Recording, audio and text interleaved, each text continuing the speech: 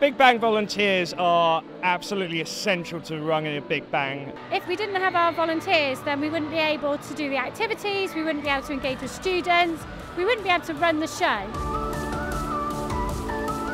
It's a brilliant event to get just get involved with, get volunteering and get so much out of it for yourselves.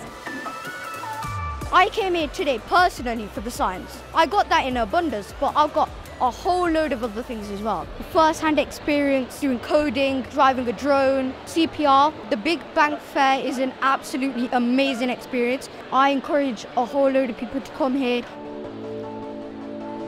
We've got a lot of different activities which are put on by the event itself. The volunteers help out on those. So that's things like making giant bridges out of pieces of cardboard, teaching kids how slime works and how you get like protein interlinking in glue.